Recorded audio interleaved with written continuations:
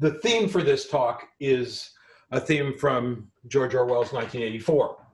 War is peace, ignorance is strength, freedom is slavery, and then the modern touch, Scrum is agile. And let's talk about what that means. Uh, a few years ago, I, and actually I and several other people all came up with the notion of doing a talk called The Death of Agile. Um, and we all came up with this idea all at the same time, this notion that Agile was completely dead. And of course, Agile is not dead, but the things that spurred that talk have gotten me and a lot of other people that I know that do Agile coaching as a job um, to start thinking about how do we deal with the fact that Agile is turning into something that it should never have been. In other words, if you were to talk to the people who were at the original Snowbird conference, most of them would not recognize what most people think of as Agile as being what they were thinking of as Agile. And that's obviously not a good situation to be in. So the 1984 problem is that Agile is really not Agile anymore. The things that they call Agile are not Agile anymore. So just going through the list. In 1984, the notion of war and war is peace was that they had a perpetual war going on. And they were trying to convince people that the only way that they could have peace in the world is by having a perpetual war going on. And we're seeing that happening in the Agile community uh, in spades is that there is a war in the sense of being a core group of people that really understand what agility is and how to make it work, fighting against mostly large corporations, but not just large corporations, who want to twist Agile around and turn it into something that looks familiar to them, but has nothing to do with what Agile actually is. So we have a, a, a basic problem then where the basic basic parts of Agile are being twisted into something that doesn't support Agile. But the companies are still saying, but we're Agile companies. So just to give you a couple examples of that is in the Agile world, the teams are self-organizing. It's right there in the Agile manifesto. And a self-organizing team really is self-organizing. A self-organizing team manages its own work. A truly self-organizing team is controlled is in control of who's on the team. You get to control who you work with. You get to control when you work, how you go about working. The companies don't want to have that, right? They want to have managers. So I don't know how many companies I've walked into as a consultant where the first thing that I see is that every agile team has a project manager on it. And that is flying in the face of this notion of self-organization. Uh, project managers is another example. There is no real notion of projects in contemporary Agile. The word project does occur in the Agile Manifesto, but that was written 20 years ago, and we've learned a lot since then. So we don't do projects, we do products. So if we're not doing projects, though, if we're focusing on the product as a whole, and just thinking, okay, what work do we have to do to move the product forward? Then why do we need a project manager? There are no projects for them to manage. So this notion of control, this notion of making the teams do what the what the management wants them to do instead of what they want to do all of this really flies in the face of what agile is. So it brings us back to this war peace thing is that we have the people in the companies claiming to do agile trying to convince everybody else that what they're doing is agile when in fact it is not. Now that brings us to ignorance is strength. Is the only way they can pull this off is to convince people that this non-agile thing is actually an agile thing. And there is an entire industry devoted to that, what uh, um, uh, Martin Fowler calls the agile industrial complex. Uh, the certificate mills are the worst offenders here. Scrum Inc., Jeff Sutherland's company, is an abomination as far as I'm concerned. Is that what they're peddling is not agile is the, the even Jeff's book, right, his most recent book, the notion of twice the work in half the time, that flies in the face of what Agile is about. Agile is about delivering value, not about getting work done faster. You can produce twice the garbage in half the time and that gets you nowhere. What you really want to be doing is producing good quality work that's actually valuable to people, something that you can sell, which is ultimately what we're doing since we're companies. Um, by thinking in terms of speed, we're not doing that. So we have an, an entrenched industry that is dedicated to convincing people that Agile is something other than what it is. It's dedicated to keeping people ignorant and convincing them that the things that they learn in the course of the training that these companies provide is actually a strength. And it's not. Now, there are exceptions. I know some extremely good Scrum coaches, for example. The extremely good Scrum coaches that I know, however, are not toeing the party line as they're talking about how to be agile in their classes, not talking about uh, Scrum by the book. So the notion of ignorance of strength then is that you really don't want to be doing Scrum by the book. Now, you see this a lot, of course, in our companies, our war is, is peace companies. Uh, one of the, the uh, things that I, again, often see when I come into a company as a consultant is literally every team in the company is doing Scrum.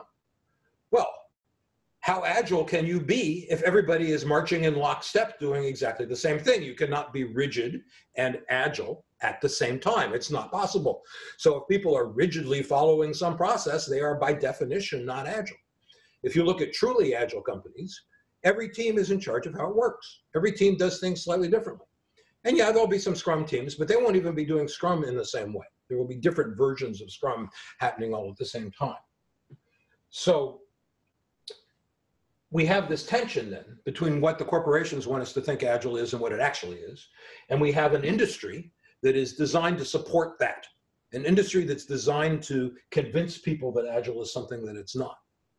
Then we get down into freedom as slavery, right? Is that again, that was another another uh, big brothery technique that was trying to convince people that they didn't actually want any real freedom. And we see that a lot again inside of these organizations that are the fake agile, the dark agile organizations, is that they're trying to convince people that that doing what you want is a bad thing, is the way they say it.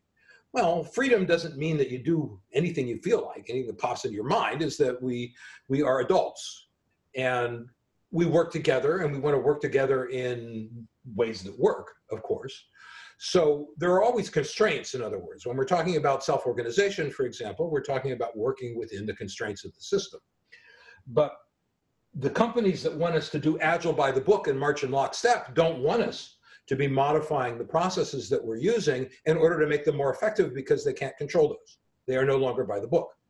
So as a consequence, they're pushing this freedom of slavery thing is that you don't really want to be free. You don't really want to improve things. You don't really want to make things better and better and better all the time because doing that might move us out of the equation. If the people that are stopping you from being able to good, do good work are management, and you actually have the freedom to say, no, we don't want you guys in the room anymore, go away, people who are in a command control environment are not going to be particularly happy with that. So the, the final thing I'll say is we're talking about this is that one of the things that I get a lot on Twitter, I'm on Twitter a lot, and probably more so than I should be. But um, the one of the things that I get a lot on Twitter when I talk about issues like that is people say, "Well, that's all fine and good in the theoretical world, but in the real world, things don't work like this." And the fact is, is that in the real real world, things do work like this. Is the the everyone has their own definition of reality, I suppose, based on what they're used to used to doing and the way they're used to working. But I've certainly experienced agile companies that are truly agile companies that don't fall into any of these traps. It's perfectly possible to do this, and some of those companies are are pretty good sized, right? There's uh, the Spotify, of course, is the poster child for agile, and Spotify has a little over a thousand engineers right now and two or 3,000 people in the company. That's kind of a medium sized company, but that's still pretty good size. It's, it's, the size of a division inside of a large, enterprise, and they are fully agile. Um, there are banks that are fully agile. There are uh, medical equipment companies like Medtronics that are fully agile. Um, there are lots and lots and lots of fully agile organizations that don't have any of these problems at all. So saying, well, in the real world, we can't do this is really just saying the company that I work for is so interested in control that they won't let us do this, which is another issue entirely. So the idea here then is that all of this is for a purpose. And the purpose is agility, which brings me to Scrum as Agile, which is the same kind of doublespeak that you see in all of four of these other, other uh, phrases, is that Scrum is not really Agile. Any kind of technique that tells you how to do things is by definition not Agile. Agile means flexible. And there's no flexibility in Scrum. If you read through the Scrum guide, it says specifically that this guide defines what Scrum is, and Scrum exists only in its entirety. And if you leave anything out, or if you change anything, you're not doing Scrum anymore.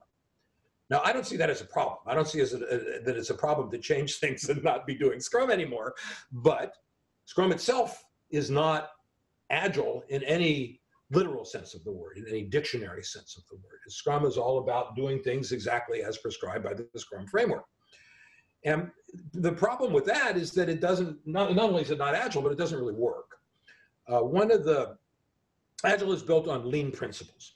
And one of the core notions of lean is that practices do not transfer from one environment to another. The classic example of that is in the new United Motors plant, the NUMMI plant that was in Fremont, California for years. Um, they're not around anymore. Uh, Tesla, in fact, took over the factory that they're in. But the NUMMI plant was a very, very successful exercise in building cars. It was one of the best car manufacturing plants on the planet, in fact. And it was a joint effort between General Motors and um, Toyota. Toyota, of course, being a very lean company. And the what happened with with NUMMI is the they developed a set of processes that worked extremely well. And General Motors, not really understanding how lean works, said, okay, what we're going to do is we're going to document all of these processes. We're going to take every one of these processes and we're going to write them up on paper and we're going to lay down exactly how you should do that. And we're going to take this documentation and we're going to take it back to Detroit and we're going to give it to all of the factories back there and we're going to say to them, you must do it like this now. In other words, they took a process that was developed in a very kind of organic way, and then they tried to impose it onto the other factories back in Detroit, and it did not work. It was a complete and utter failure. And the reason is that practices do not transfer. Or to put it another way, to put it in lean terms, what matters are the principles and the values. And that in order to get a practice framework to work, you have to develop the practice framework yourself around those principles and values. It is not an accident that the Agile Manifesto has only one practice in it, which is continuous improvement. Everything else is either a basic principle or a value. And that's quite deliberate. It's because the only way that you can be successful in an agile kind of context is to develop your own practices based on a core set of principles and values and the principles and values of the organization that you're that you're working in and everything is different. Every company has to work in a different way. And the the when you start uh, grabbing a canned framework and say, okay, we're going to do Scrum or we're going to do Kanban or we're going to do whatever. It doesn't really matter what framework. SAFe is probably the worst one this way because it is the most prescribed. There are the most rules.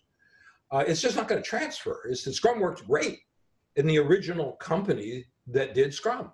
Right? The original place where Ken Schwaber was setting Scrum up it worked just fine, but that does not mean that it's going to transfer somewhere else. Excuse me. So Orwell here was prescient. Who would have thought that Orwell was a software engineer? But the things that he was talking about in 1984 apply to us in the agile world. We don't want to be working in this way. We don't want to be locked into a specific way of working. Instead, we want to learn the values, we want to learn the principles, and then the third piece is we want to learn the tools is to put it another way, Agile is really a set of principles, a set of values, and a, and a tool set, a toolbox. Now, when nobody will do everything, nobody uses all the tools. By the same token, the tools will be flexible in the sense that you may adapt the tools to your own personal way of doing things, to your own own uses, and that, that's fine. Um, but that's all that Agile is. It's not a set of rules. There are no rules. So if you're marching in lockstep following a set of rules, there's no agility in that at all. So the question then, given all this, is how do we get from here to another place? So let's talk about that for a moment as I'm gonna, I will erase Orwell here and we can talk about other things.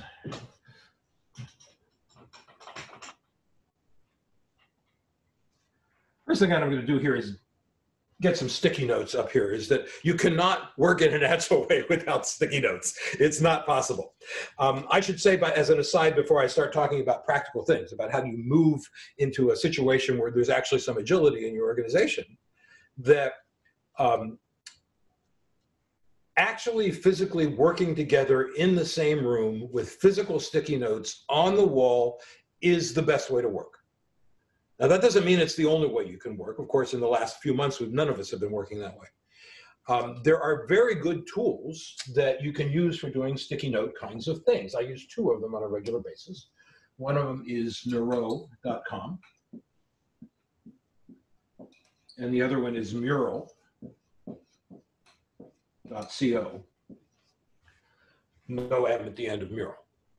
Um, of course, you go out into the world of fake agile, the world of dark scrum, and you see tools that are um, um,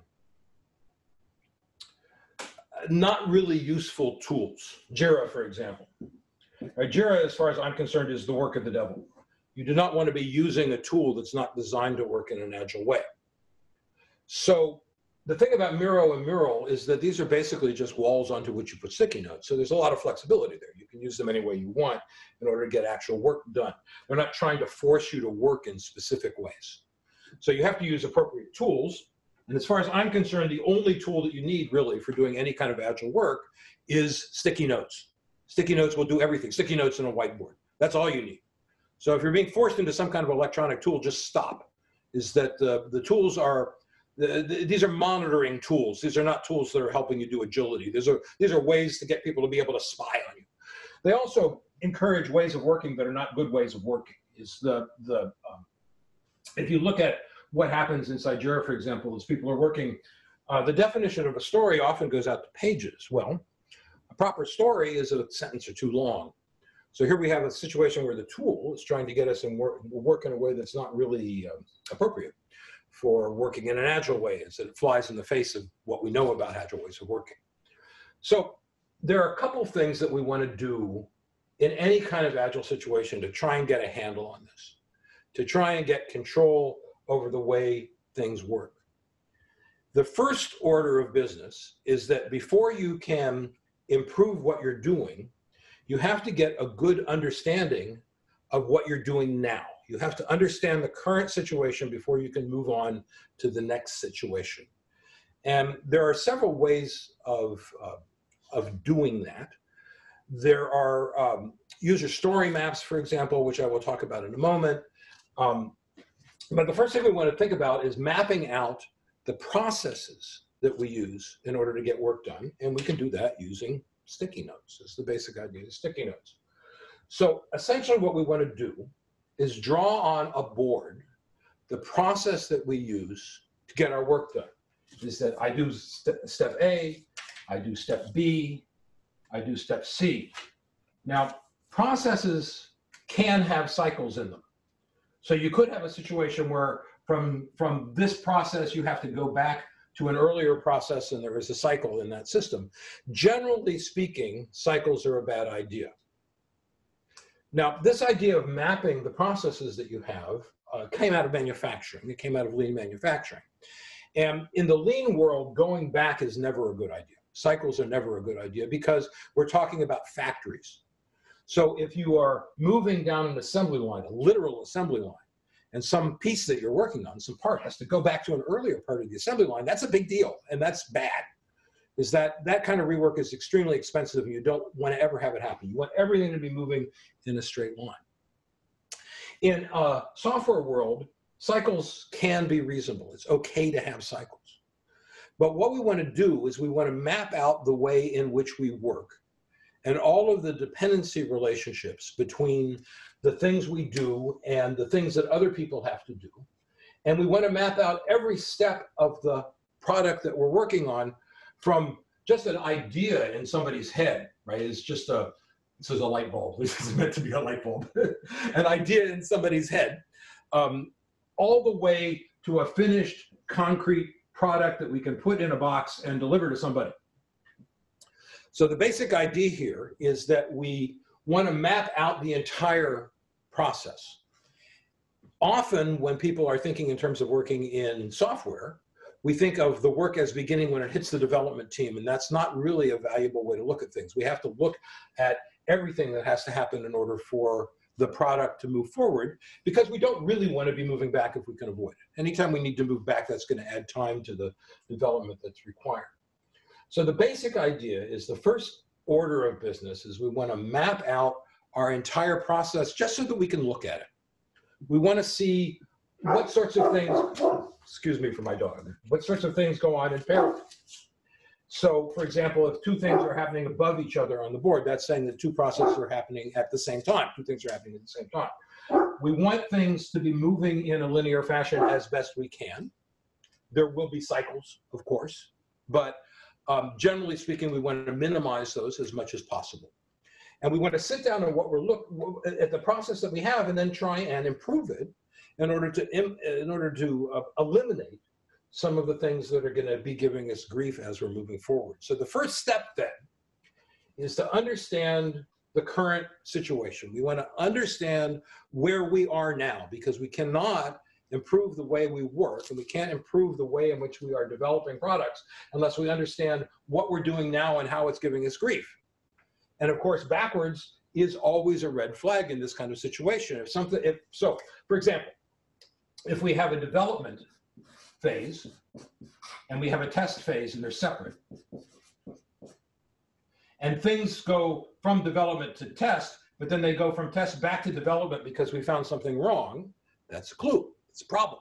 We don't want to be doing that. We don't want things to be moving through this process in a cyclic way. So what we want to do then by looking at this diagram is to try and eliminate cycles, to try and eliminate backwards if we can. We can't always because Agile is an iterative process. So as a consequence, we will be moving backwards occasionally, and that's fine. But um, generally speaking, we want to minimize as much of that as possible. We want to try and make the process as linear as we can get away with. And we won't be able to get as linear as you can get in a factory, but you can get usually a lot more linear than you get now. Is that if you look at the way most companies work, there are lots of little separate silos, each in charge of something. There will be, for example, a, a design silo um, to the left of the development cycle, to the left of the testing cycle. And the silos will interact with each other in complicated ways. If something doesn't work out in test, then it goes back to development. Something doesn't work out in development, then it has to go back into design. And there are, there are very inefficient cyclic things going on in here. So by drawing it out, by diagramming it, you can see how all of these cycles work, and then you can work to eliminate them from your own processes. Is what we're looking for is something that is, is as linear as we can get away with um, which is not fully linear in the software world because, well, it's the software world as we learn as we work. And uh, you just have to go backwards sometimes because that's just life. But our first order of business then is that we want to come up with a situation where we can um, um, get control over our work. In order to get control over our work, we have to understand our work. So that's the first order of business is this is mapping out the processes that we're using now and then try trying to get rid of some of these backwards pointing things. Now, if you think about the way Agile works, Agile teams should be doing all three of these activities, right? Is that all of this should really be one team doing all the work. And there will be back and forths within the team, but it's not going to impact other teams. So what we're trying to do then is eliminate some of these cycles and eliminate some of these backwards flowing arrows and to try and make things as linear as possible and also to try and understand um, uh, what the entire stream of work actually looks like.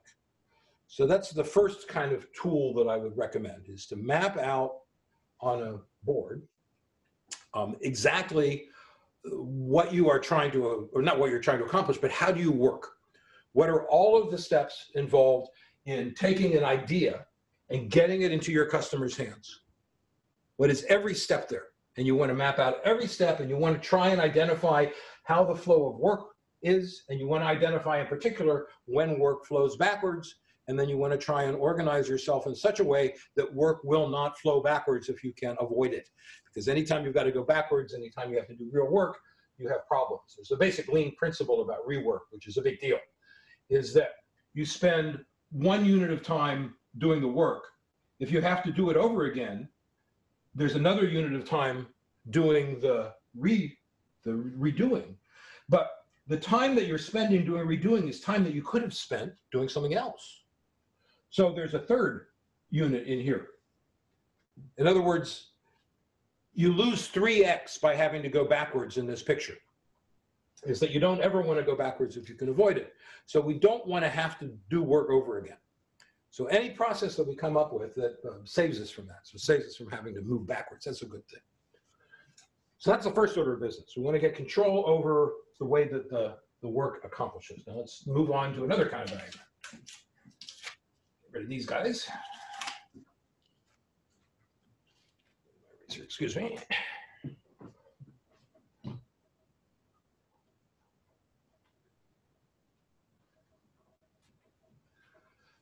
So step one is get control over the work.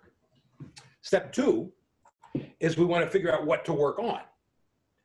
And the best way to do that is with something called a story map.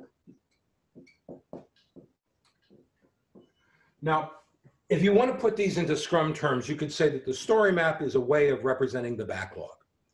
Um, in practice, the story, a story map and a backlog are different, are different things, um, mostly having to do with focus. And more importantly, a story map by being a physical map. And I strongly recommend that you do your story maps as physical maps, either on a virtual whiteboard or on a real one. Um, is a way of, of um, it's small, it's constrained. So the basic idea here is that we want the story map to map out the work that we have to be working on. However, we want to make it physical deliberately because if we don't do that, we end up with so much work that we can't ever get it done. It's a general rule of thumb in an agile world is that the amount of work that you need to do should, um, you should never be looking more than about a month ahead. So if you're working in Scrum and you've got two week sprints, that means you should have never have more than a couple of sprints worth of work in your backlog for the entire set of teams. So um, if stories are small enough, which they should be, different. This is really a different topic, so I won't go into it in depth. But in general, your story should be a day or two long, which means that on average you'll be doing about four stories in a sprint. So if you have five teams, that means you're doing 20 stories a sprint. So a backlog with more than 40 things in it is got is way too big. And more to the point, the stories that are in the backlog are also probably too big. Is by the time you, if you if you look at what's in the backlog and you look at the work that you're actually doing, um, you'll find that it, every story that's in the backlog has to be split up before it can actually move into a sprint or an iteration or some way of working. So generally speaking, if you've got four or five teams, a backlog with more than about 20, maybe 30 stories in it is way, way, way too big. So there's a basic rule of thumb here then, is that you want to keep things small and working with physical story maps helps you do that. So the idea of the story map is a story map is a way of getting yourself organized and getting your stories organized so you can figure out what's important to work on. And we're trying to keep things as constrained as possible. So the basic idea then is that the story map is split up into, into two regions. The one across the top here is called the backbone. And the backbone, um, sometimes what they say about the backbone is the backbone is your epics. Uh, I don't really like the notion of an epic is that this JIRA idea that you have a hierarchy of, of uh, organization where you have epics that break up into stories, that break up into tasks. Uh, the real world is not that not that easy. Is the generally speaking, a given story might fit into more than one epic, for example.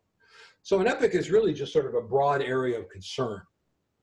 And the, you could say that we have epics, but I would not think in terms of epics at all. As I would think in terms of, in a general way, in order to get something valuable into the hands of our users, what big course steps do we have to go through in order to get there, in order to get from A to B? What are the big things that we have to do in order to get something done? Right. So if our if we're doing a storefront, for example, there's a there's a browsing stage where you're just looking at things that are in the store. And then there's a decision stage where you're deciding um, what to buy. And then there's a buying stage. And then there's a, a, a, a shipping stage, right? There's, there's a bunch of stages here. I'm going to run out, I'm going to run out of, of uh, board space, obviously. There would be many, many columns, if you will, effective columns here inside this map.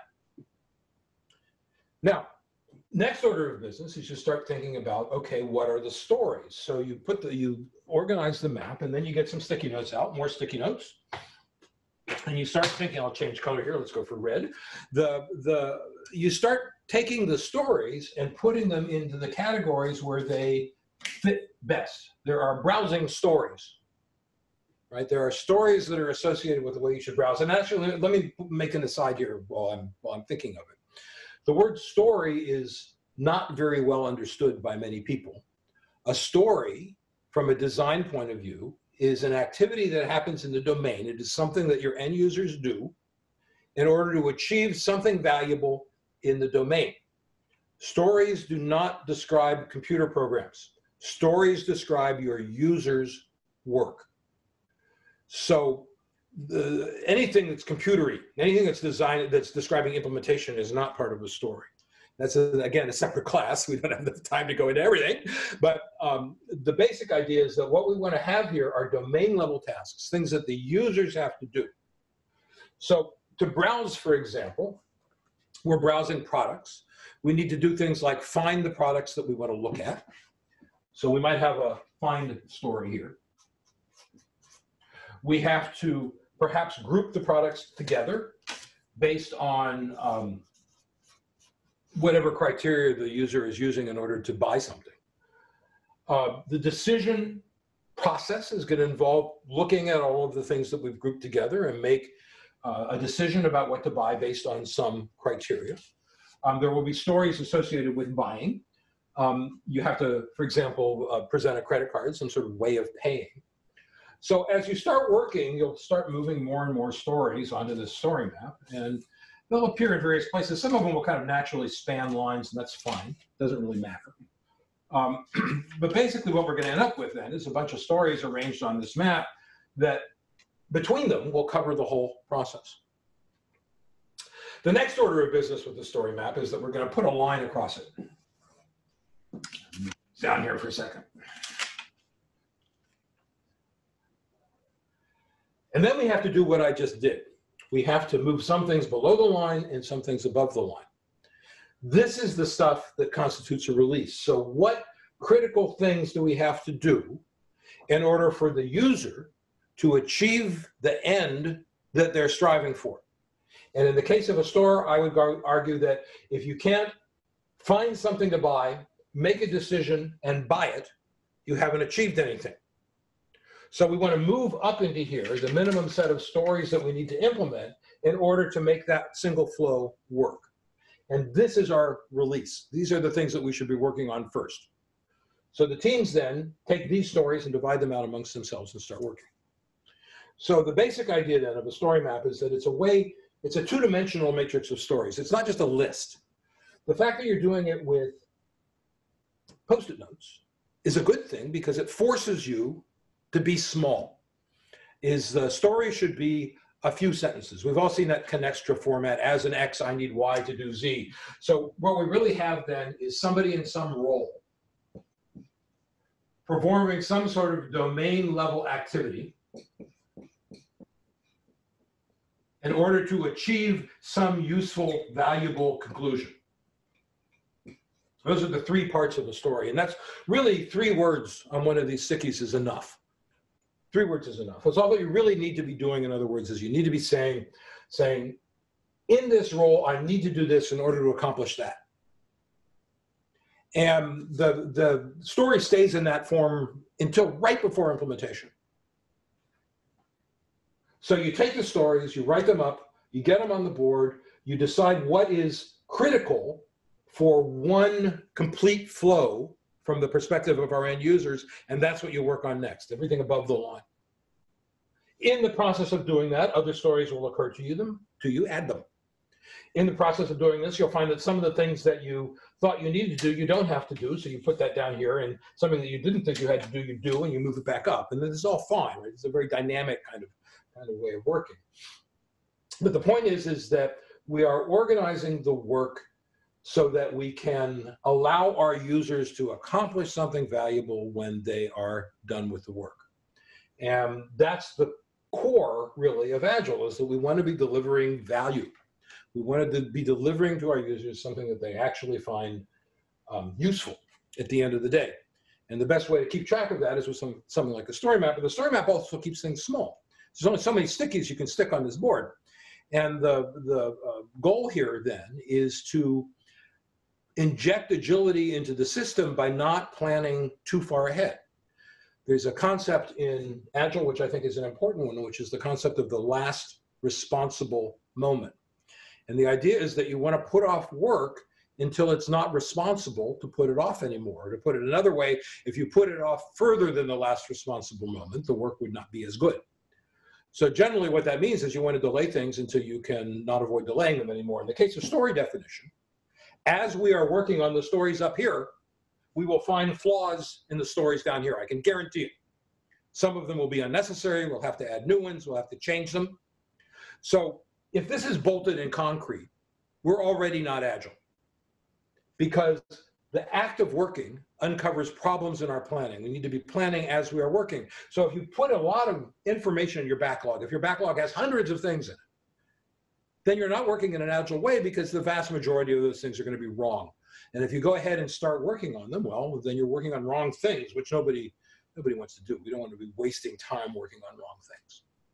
So once you get your story map done and you identify the critical things, the last thing you do is you fall down into the agile implementation process, which is pretty straightforward. So let's talk about that for just a couple minutes. We have a few minutes left, but it will only take me a few minutes to do this.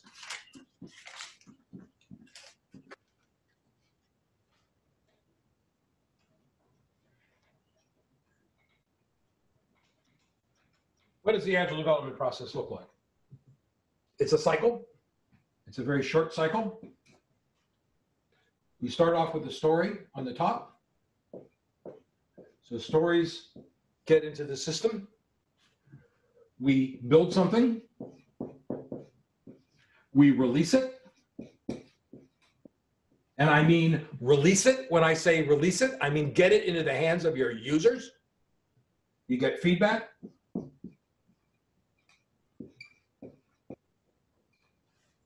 And then you use that to make necessary changes and you spin around in this cycle until you can't not spin anymore. Excuse me while I get rid of that noise. You spin around in this cycle until you're done. This is the agile development cycle. So the basic idea then is we pick a story, we build it, we release it, we get some feedback, we make changes, and we spin and we spin and we spin and we're done. The maximum, the maximum, maximum, maximum amount of time for this cycle should be a few hours.